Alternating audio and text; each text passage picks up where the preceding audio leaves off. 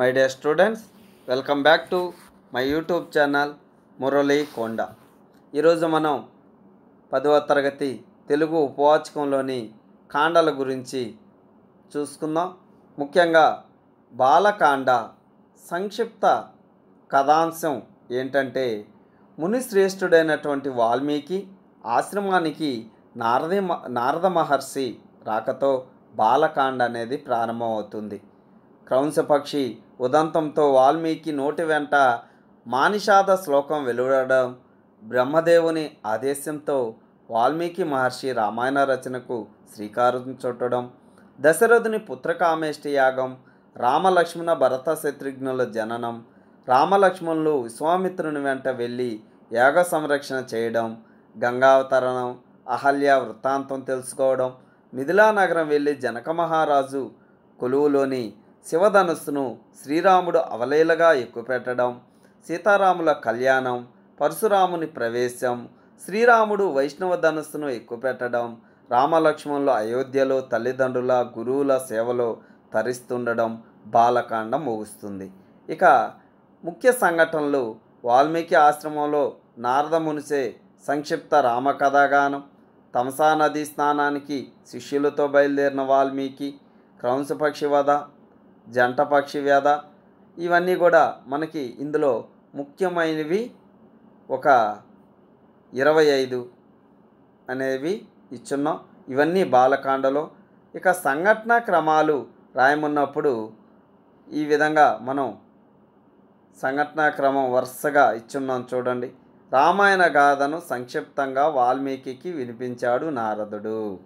రామకథ వాల్మీకి మనసులో నాటుకుపోయింది. శిష్యులతో సహా వాల్మీకి తమసా నదికి స్నానం చేయడానికి బయలుదేరాడు. ఇవన్నీ వరుస క్రమంలో ఇచ్చున్నాం. ఏది ముందు ఏది వెనక అనేది మీరు రాసేటప్పుడు జాగ్రత్తగా ఇవి చూసుకొని మీరు రాయాలి. అదేవిధంగా మనకి రామాయణంలో ఎక్కువగా ప్రశ్న జవాబులు కూడా పాత్ర స్వభావాలు కూడా ఉంటాయి కాబట్టి పాత్ర స్వభావాలు అనేవి చూడండి. దశరథుడు పాత్ర స్వభావం. అదేవిధంగా సీత పాత్ర స్వభావం. లక్ష్మణుడు పాత్ర స్వభావం. విశ్వామిత్రుడు పాత్ర స్వభావం. రాముడు పాత్ర స్వభావం. జనక మహారాజు. వ్యాసరూప ప్రశ్నలు ఈ విధంగా అడుగుతారు. రామాయణ ప్రాశస్త్యమును వివరించండి. అన్నప్పుడు ఈ విధంగా మనం జవాబు అనేది రాయాలి. అదేవిధంగా వాల్మీకి రామాయణ రచనకు శ్రీకారం చుట్టిన విధానాన్ని వివరించండి అన్నప్పుడు ఈ విధంగా మనం జవాబు అనేది రాయాలి.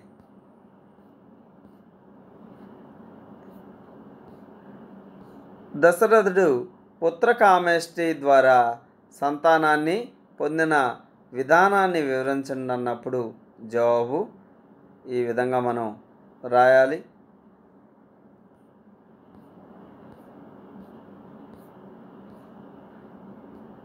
విశ్వామిత్రుని వెంట వెళ్ళిన రామలక్ష్మణులు యాగ సంరక్షణ చేసిన విధానాన్ని వివరించండి అన్న.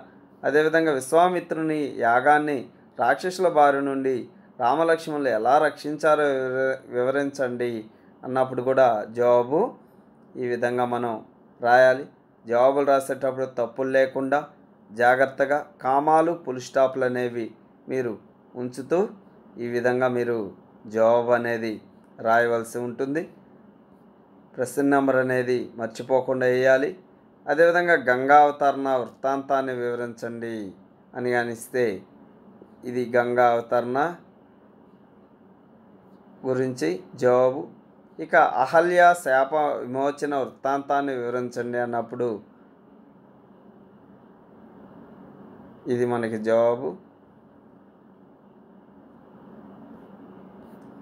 తర్వాత సీతారామ కళ్యాణాన్ని వివరించండి. ఇంపార్టెంట్ ఇది. జాగ్రత్తగా చూసుకోండి. ఈ విధంగా మనం జవాబు అనేది రాయవలసి ఉంటుంది. ఇక జాతీయాలు అనేవి చూడండి నాటుకుపోవడం ఏదైనా ఒక అంశం లేదా విషయం మనసులో అలాగే నిలిచిపోవడం. ఒక వ్యక్తి కానీ ఒక సంస్థ కానీ ఒకే చోట చాలా కాలం ఉండిపోవడం అని చెప్పే సందర్భంలో చాలా కాలంగా స్థిరపడిపోవడం అనే అర్థంలో వాడతారు. సొంత వాక్యం మంచి విద్యార్థులకు గురువులు చెప్పే మంచి మాటలు హృదయంలో నాటుకుపోతాయి. అదేవిధంగా చెవి నీళ్ళు కట్టుకొని పోరు. దానికి సొంత వాక్యం నేల కోల్చడం దానికి సొంత వాక్యం. వీణుల విందు శ్రీకారం చుట్టడం. ఇలా మీకు చాలా భగీరథ ప్రయత్నం. ఒక పన్నెండు ఇవ్వటం జరిగింది. ఇంపార్టెంట్వి. తర్వాత అయోధ్యకాండ ఇందులో అయోధ్యకాండలో మనం సంక్షిప్తంగా చూసుకుంటే శ్రీరామునికి యువరాజు పట్టాభిషేక నిర్ణయం.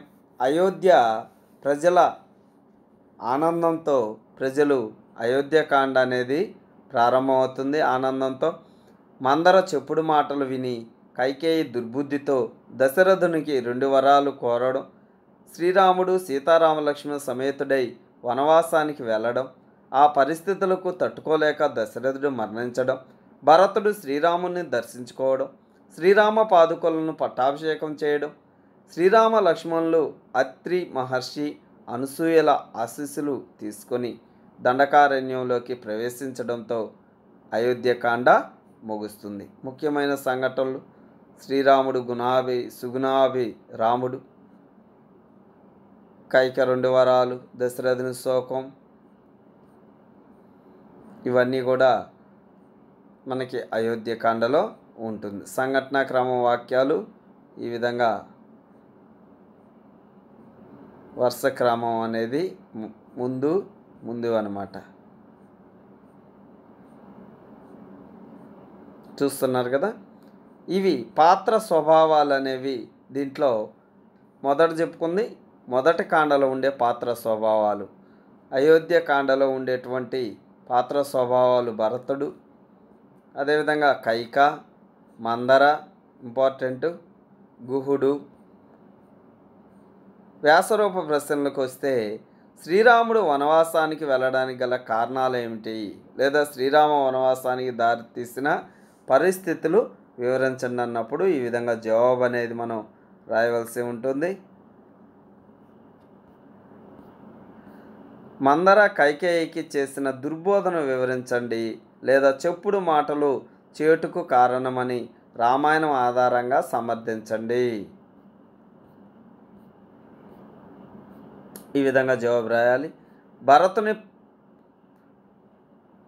పాదక పట్టాభిషేకం గురించి రాయండి. లేదా భరతుడు ఆదర్శ సోదరుడని ఎలా చెప్పగలవు? జవాబు.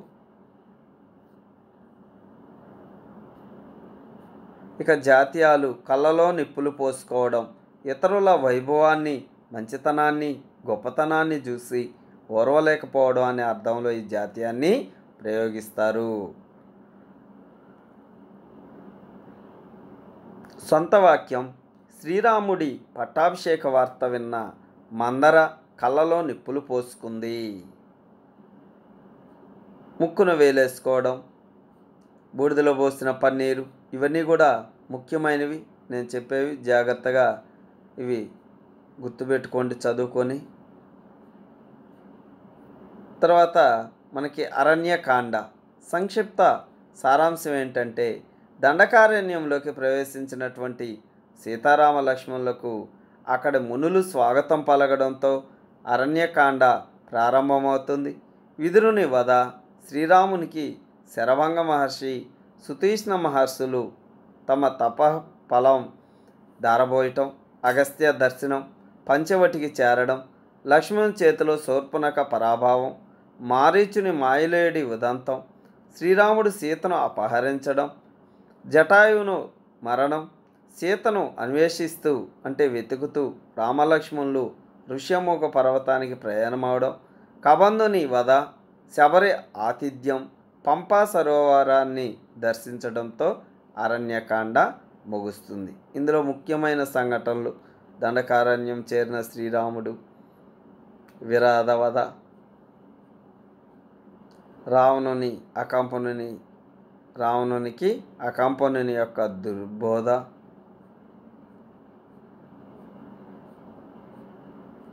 ఇవి తర్వాత సంఘటన క్రమ వాక్యాలు వచ్చేసి ఇవి. వరుస క్రమంలో మనం రాయవలసి ఉంటుంది.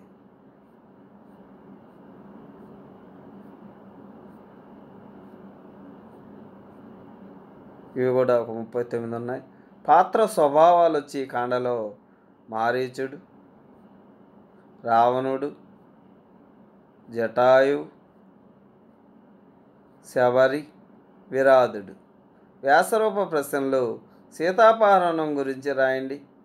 ఇంపార్టెంట్ ఇది మారీచుని సహాయంతో రావణుడు సీతను అపహరించినటువంటి వృత్తాంతం రాయండి అన్నప్పుడు ఈ విధంగా మనం రాయాలి. రామలక్ష్మణులు సీతను అన్వేషిస్తూ పంపా సరస్సునకు చేరుకున్న విధమును రాయండి లేదా రామలక్ష్మణుల సీతాన్వేషణ వృత్తాంతాన్ని వివరించండి.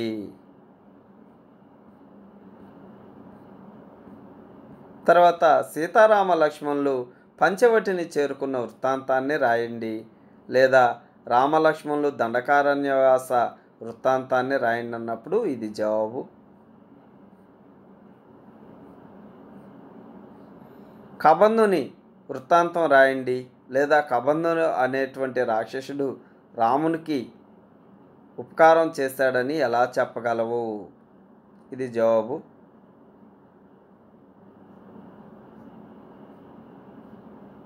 విరాధుని వృత్తాంతాన్ని వివరించండి అన్నప్పుడు ఈ విధంగా జవాబు రాయాలి. జాతీయాలకు వస్తే దారపోయిట గోడును వెళ్ళబోసుకొనటం ఏకరవ పెట్టుట శిరసావహించుట అగస్త్యభ్రాత అట్టుడిగిపోవుట మట్టి గర్చుట. ఇవన్నీ కూడా సొంత వాక్యాలు ఎలా రాయాలి? అదేవిధంగా జాతీయాలు అనేవి ఎలా రాయాలనేది ఉన్నాయి.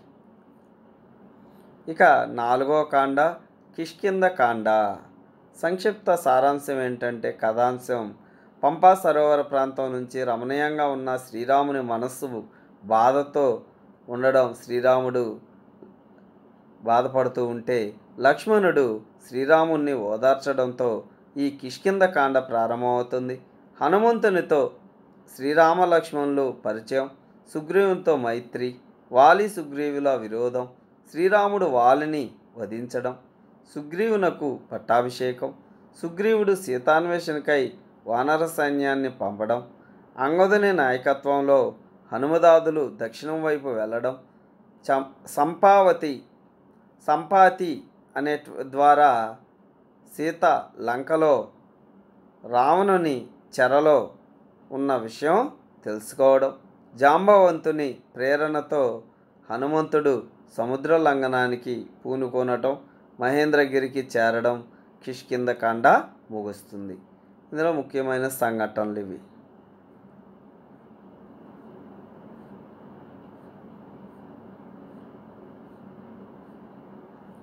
ఇక సంఘటనాక్రమ వాక్యాలు.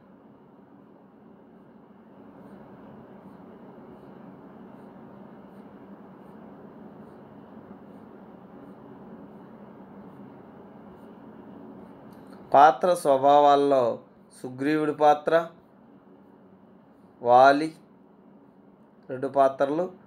వ్యాసరూప ప్రశ్నల్లో శ్రీరామ సుగ్రీవుల మైత్రి ఎలా ఏర్పడింది? ఇంపార్టెంట్ ఇది. శ్రీరామ సుగ్రీవుల మైత్రి జరిగిన తీరును వివరించండి అన్నప్పుడు ఈ విధంగా జవాబు అనేది రాయాలి. వాలి సుగ్రీవుల విరోధం గురించి రాయండి. లేదా సుగ్రీవుడు శ్రీరాముడికి తన కథ ద్వారా తన కథను ఎలా వివరించారో రాయండి. లేదా వాలి సుగ్రీవుల కలహానికి దారితీసినటువంటి పరిస్థితులను వివరించండి అన్నప్పుడు ఈ విధంగా జవాబు అనేది రాయాలి. వాలి సుగ్రీవుల యుద్ధాన్ని వర్ణించండి లేదా వాలి వధ న్యాయమా కాదా వివరించండి అన్నప్పుడు ఈ విధంగా రాయాలి జవాబు. హనుమంతుడు సీతాన్వేషణకై ఏ విధంగా బయలుదేరాడో రా వివరించండి అన్నారు. ఈ విధంగా జవాబు అనేది రాయాలి. ఇక జాతీయాలు సుగ్రీవాజ్ఞ అగ్నికి ఆజ్యం పోసినట్లు సొంత వాక్యం కూడా ఇచ్చింది. పిక్క బలం చూపడం కన్నులు ఎర్ర చేయడం. ఇవి ఇక సుందరకాండ. సుందరకాండలో సంక్షిప్త సమాచారంగా సకల దేవతలకు నమస్కరించి సముద్ర లంఘనం చేస్తున్న హనుమంతుడికి సూర్యుడు దేవతలు సహకారంతో గంధర్వులు మహర్షులు అభినందనలతో సుందరకాండ ప్రారంభమవుతుంది. సముద్రం మీదుగా వెళ్తున్న హనుమను మైనాకుని ఆహ్వానం లంకినిని జయించి హనుమ లంకలోకి ప్రవేశించడం అశోకవనంలో సీతామాత దర్శనం రామముద్రికను సీతమ్మకు అందించడం కాకాసుర వృత్తాంతం హనుమ అశోకవనాన్ని దర్శ ద ధ్వంసం చేయడం హనుమ బంధించి రావణ సైన్యం హనుమ తోకకు నిప్పు పట్టించడం నిప్పు అంటించడం లంకా దహనం సీతాదేవి వద్ద చూడామణిని తీసుకొని శ్రీరాముని వద్దకు చేరి సీతమ్మ జాడను గురించి నివేదించి చూడామణిని సమర్పించడంతో సుందరకాండ ముగుస్తుందన్నమాట. ముఖ్యమైన సంఘటనలు ఇవి. సీత జాడ తెలియక హనుమ నిర్వేదం అశోకవనంలో సీతను చూసిన హనుమ. ఇవన్నీ కూడా ముఖ్యమైనవి సంఘటనా క్రమానికి.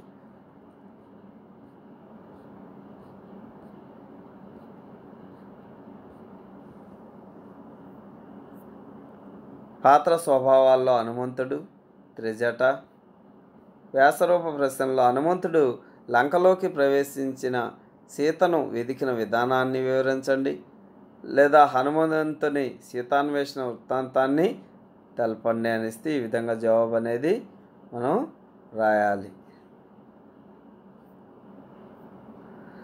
ఇక- ఇక హనుమంతుడు సీతాదేవిని ఓదార్చిన విధానం రాయండి. అశోకవనంలో సీత హనుమల సంభాషణను వివరించండి. త్రిజట స్వప్నం గురించి రాయండి. త్రిజట తన స్వప్న వృత్తాంతము తెలిపి సీతను ఓదార్చినటువంటి విధమును తెలపండి అన్నప్పుడు ఈ విధంగా జవాబు రాయాలి. లంకా దహన వృత్తాంతాన్ని వివరించండి అన్నప్పుడు ఇది జాతీయాలు. చూసి రమ్ముంటే కాల్చి రావడం దానికి సొంత వాక్యం. ఇక చివరిది యుద్ధకాండ.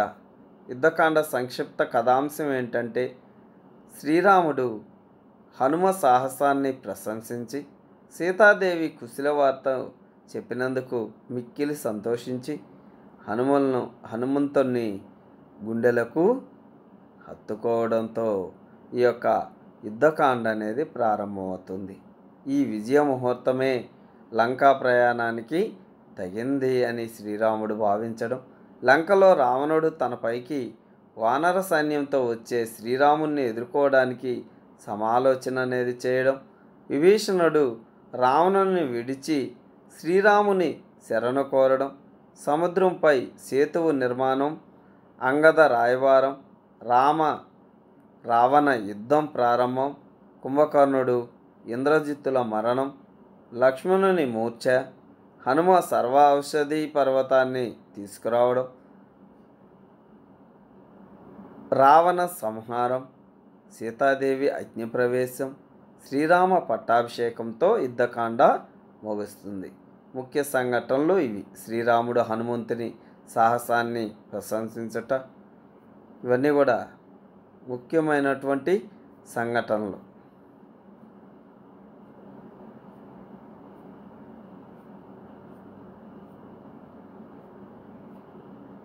ఇవి మనకి ముఖ్యమైనవి. పాత్ర స్వభావాల్లో విభీషణుడు వచ్చాడు. తర్వాత కుంభకర్ణుడు ఇంద్రజిత్తు. సేతు నిర్మాణం గురించి రాయండి. సేతు నిర్మాణం గురించి రాయమన్నప్పుడు వ్యాసరూప ప్రశ్నలు ఈ విధంగా జవాబు రాయాలి. తర్వాత రామరావణ యుద్ధాన్ని గురించి రాయండి.